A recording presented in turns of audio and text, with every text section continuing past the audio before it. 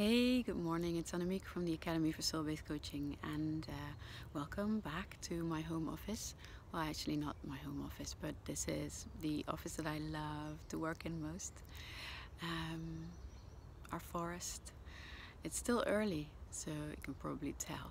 um, but I just wanted to talk to you today about what it is that makes you feel so good in coaching and actually what makes you feel best when you're coaching and helping people. Of course, it starts with that, doesn't it? That thing where you are helping people. You get to make a difference for people. Not just any difference, but you get to help them make a change that makes an enormous impact in their lives because they feel differently or because they finally see the choice that they want to make or they have the courage to take the step that they've been dreading or they have this whole new perspective which means that everything that they were getting stuck on before just isn't relevant anymore. You know there's like major big changes that people can make. Um, and you get to be a witness to that as a coach, which is an amazing and humbling experience, um, especially if we do it the soul based coaching way. And I, this is one of the things that um, is so important in the workshops that we teach. It's that we have this image of coaching which is it, it does come from a more masculine paradigm where it is all about analyzing what's going on for people. It's about um, trying to work out so what is the best way out? In a way it's about outsmarting them. It's about saying ha i know the solution. You just have to do this. And then you know you're re- you're ready to roll and you won't have this problem anymore. And the thing is that when we approach people that way we're not we're doing um, them a disservice. And why? Because they're so much more than that. Um, and they're not, you know, they're not broken, they do not need fixing. And they have all this potential to make these changes within themselves. And why not help them see that and help them experience that? And when we do that, you know, is exactly what's completely key and fundamental in soul-based coaching. We see something very different. And also it makes us as coaches feel very, very differently. You know, when I started out coaching and doing executive coaching, there was this, there were two things that could easily happen. One was that I could go into sort of um, automatic mode, right? I would go into, ah, okay, I hear you say this, I've seen this before, it fits into this model, so what you need to do is this and this. Um, and we'd have a conversation about that, and sure, it could be helpful, uh, and people could sometimes take a lot out of that and make things happen. But, but, there was something that I wasn't doing, and I'll come back to that in a moment. You see, the other thing that could happen easily is that when you're coaching from this paradigm, that you feel that it's on you to find the quickest way into a solution. That you have to be the one that really easily sees, all right, so this is what you need to do. This is how we're going to fix you. Um, and you take on a responsibility that really isn't yours. Uh, it can come with a lot of um, with a lot of self-doubt and a lot of um, ooh, anxiety for some people because they go into this role and they feel it's not right, but they don't quite know what to do, what else to do. And these are the two things that really easily happen. So either going on automatic pilot and offering the same solutions to people, um, or going in overwhelmed and feeling the pressure and um, you know no matter what it what it um, looks like in you, there's something about taking on a responsibility that isn't yours and taking away a responsibility that is theirs. And this is so vital when it comes to coaching or being of support to people that we do not take their responsibility and their power away in any way because that is the disservice that we can easily do people you know and you you must have had this experience when you've been talking to somebody who has had lots of experience, who you know could have uh, had a lot to offer to you, but and when they when they helped you or gave you gave you input to think about. Um, what happened was that you started to see them as the authority on you. Do you relate to this? On some level, there was something that said, she must know, or he must know what he's talking about, so I better get myself in line with that. I, and you know, this is something that can happen very subtly, but it will help people start to doubt themselves. It will start make them think people outside of me, right? They have a different perspective. Professionals, they think something about how I'm doing or, or what I'm not doing or how I'm feeling or not feeling or thinking or not thinking. And they start to engage in this inner dialogue that is just not very productive and helpful. Whereas if we help people be in that dialogue with themselves and their own deepest wisdom, their own soul knowing, something very, very different happens. They start to inhabit their power, they start to inhabit their knowing, their own authority. And that is something that is a very new experience for people. And the really interesting thing is that, you know, when you st first start out working in this way, you might think, but, you know, what am I doing? What am I, what am I adding here? Do I, do, do I not have to be super slim and smart? Um, and do I not have to uh, be super, you know, superhero um, to, you know, kind of make everything happen for everybody?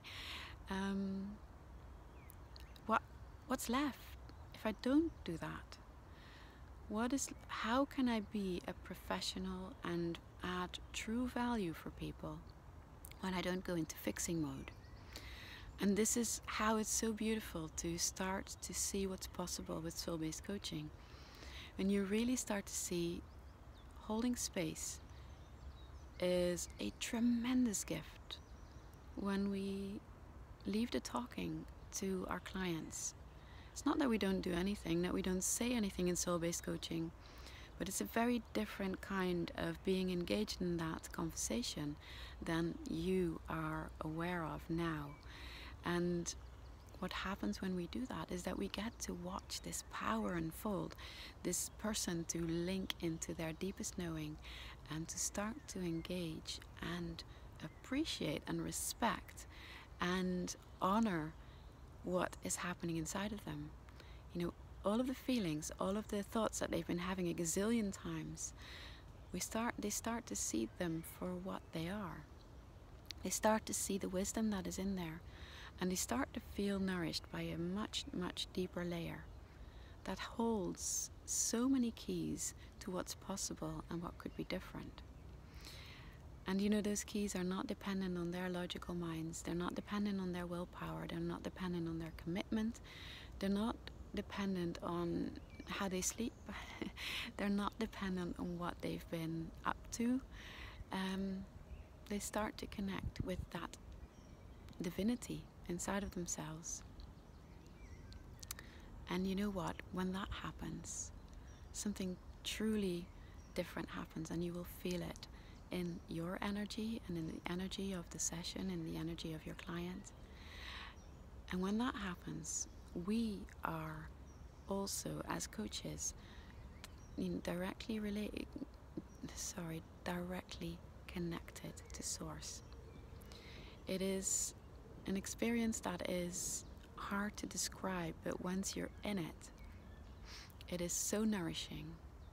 It is so incredibly uplifting, and it's also incredibly humbling because it's not up to us. Absolutely, we make it possible. So without us, that journey for that client is not happening in that moment but it's not up to us. It's something else that work that is working through us and through our clients mostly. We're holding the space for that Shakti flow that's working through our clients. And this is why everybody who learns to do this work says at the end of a session, I feel nourished, I feel refreshed, I feel in awe of what's possible in life because every session is another surprise. And the same is true for our clients. They go on big journeys in the time that we have together. And they know that when they come out of them, they have changed in a very fundamental way. And that is pure magic. It's magic in action. This is why I'm so, so happy to see people joining in our circle so that we get to have this time together. We get to have this journey together. Six months deeply in connection with each other. Um, and you know, this is something else. It's when people say, but it's online, how can that work? I have to I have to be reminded that there's people that don't know about this. So this is why I'm thinking about it now, and I should probably tell you about it. It's that the connections that we form online are incredibly deep because of the work that we do. It's so intense and so personal. It's not an online training where you watch some, you know, watch some videos and then you go out and do your own thing. No, this is an online training where we have live sessions every week and we talk we practice, we reflect, and we have the conversations that are the most important conversations to have. They are about what happens to us on our inside when we're coaching, when we're being coached. And we're learning to see how our skills weave this path, weave this possibility for people to get in touch with their deepest knowing. And you know what? Life just isn't the same after that. It really isn't. And I'm not saying it's all going to be, you know, sunshine and roses, because it's not. It's life. It has the hard parts. It has the, you know, beautiful parts. But the way that you navigate life is not going to be the same again. And that, that is just such a gift. So, what is it that is the best feeling in coaching? It's this. It's seeing your clients unfold in ways that they did not seem, you know, held, hold as possible before. And it's also you feeling nourished in the work that you do and seeing that it can pay your bills. It really can. It can help you create your own livelihood. And throughout all of this, you get to be true to who you are. You get to hold yourself as sacred. And you get to see what an incredible difference that makes for how you feel about yourself and about life in general. It's also how, step by step, we're going to make a real difference in this world. So I invite you, I invite you into the circle.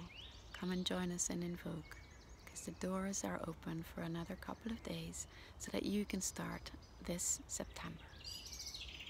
I would love to hear ooh, blackbird singing. I would love to hear what this touches in you, what possibilities it opens up for you, and any questions that you have. Tell us, share us, share your questions, share your fears, share your doubts, share your longings, and we'll have a conversation about all of that and see if this is for you.